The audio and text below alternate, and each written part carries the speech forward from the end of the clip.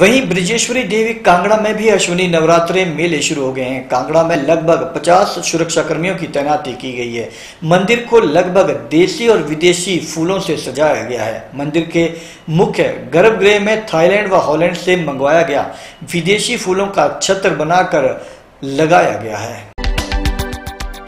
श्री ब्रजेश्वरी देवी मंदिर कांगड़ा में अश्विनी नवरात्रे मेले शुरू हो गए हैं। श्री ब्रजेश्वरी देवी मंदिर कांगड़ा में रविवार सुबह चार बजे कपाट खुले। कांगड़ा में लगभग 50 सुरक्षा कर्मियों की तैनाती की गई है। मंदिर को लगभग 30 टन देसी व विदेशी फूलों से सजाया गया है। मंदिर के मुख्य गर्भगृह में थाईलैंड व हॉलैंड से मंगवाए गए विशेष फूल का छत्र बनाया गया है और गर्भगृह में लगाया गया है। मेले के पहले दिन रविवार को मंदिर परिसर में शतचंडी महायज्ञ भी आरंभ हो गया है। सहायक मंदिर आयुक्त एवं एसडीएम कांगड़ा जतिन लाल ने विधिवत पूजा अर्चना कर नवरात्रि मेले का हवन यज्ञ कर रसम अदा करके इसका शुभारंभ किया।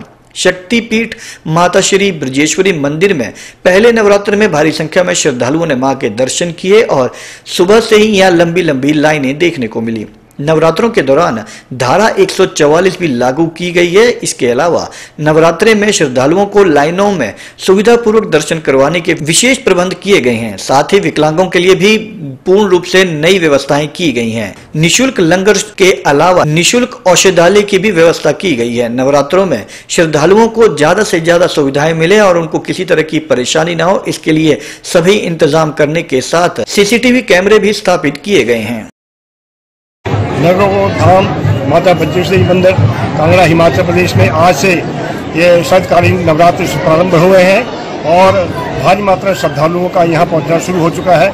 आज से मंदिर के अंदर सतचंडी महायज्ञ का भी प्रारंभ किया गया, जिसमें मान्यवर एस डी साहब यहाँ के आज मुख्य अतिथि थे और सारा मंदिर फूलों से सज गया है। और भगवती के फूलों देखने के लिए और माई के दर्शन के लिए और आशीर्वाद लेने के लिए भारी